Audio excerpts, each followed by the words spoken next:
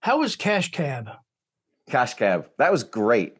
That was that was a great show to do. It's one um is also the hardest show I think Was I had it? to do.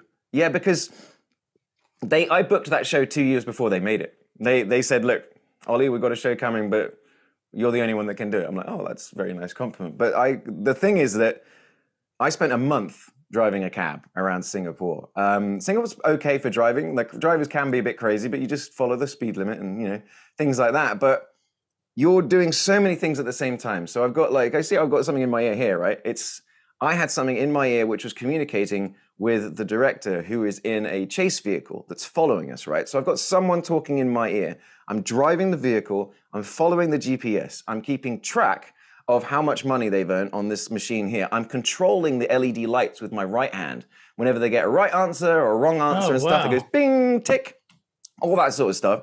And at the same time, I'm also asking these people questions, and the questions are being fed into my ear as well. Ah. So as someone's speaking, I'm speaking in a two second delay to what they're saying to the people that are behind me. Then, on top of all that, I have to host a TV show and make it entertaining. So you're doing just all of these things. You're just like juggling seven seven balls at the same time. But you know, I got very good at just being able to. Okay, my my mouth would just sort of repeat what I was hearing in my ear as far as the mm-hmm. questions.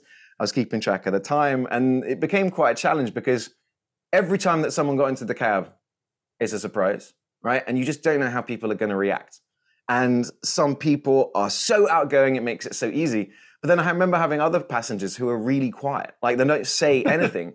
But that was kind of the challenge. So it's still finding ways to make it entertaining. So like this person wasn't talking. I was just throwing all these looks to camera.